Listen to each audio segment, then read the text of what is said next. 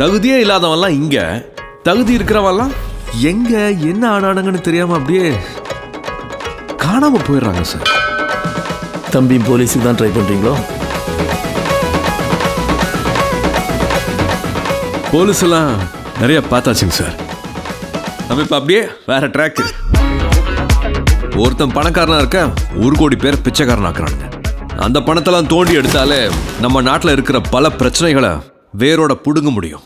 என்னது பிடிக்கிடுவீங்களா தனியா நான் மட்டும் ஒன்றும் புடுங்க முடியாது சார் நாமெல்லாம் சேர்ந்தா நிச்சயம் ஏதாவது புடுங்கலாம் சார்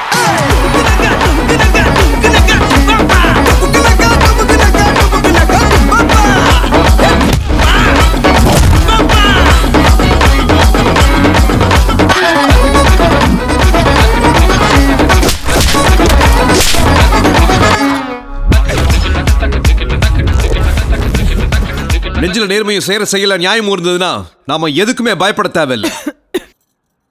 சொடக்கு மேல சொடக்கு போடுது.